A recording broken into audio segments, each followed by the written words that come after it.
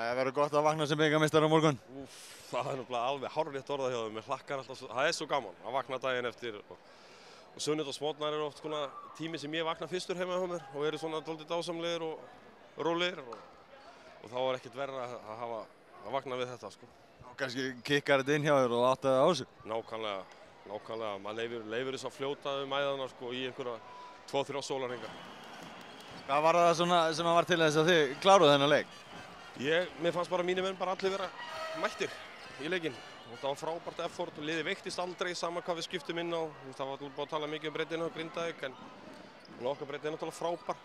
Og, og, og sjá hvernig Jóhann og Dagur kom inn í leikinni fyrir álit, sko, Dagur með energy í vörninni þar sem hann tjöflaðist sko, og gjör sannlega pískaði sjálf hans út. Og Jóhann hitti sínu skotum.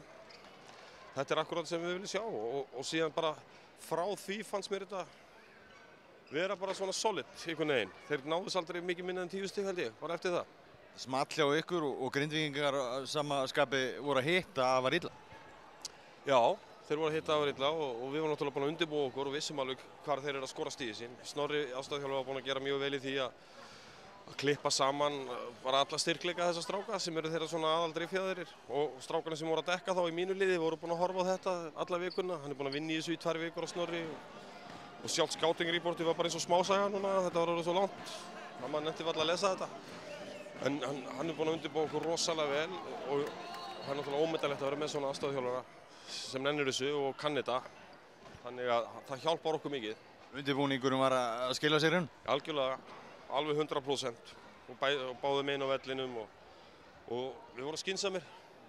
Við fannst að vera skinsamir og þeir hittist svona nokkur reysa skoti minni restina en þetta var aldrei leikur. Það mikið með byggamistara titilin. Takk fyrir hennu.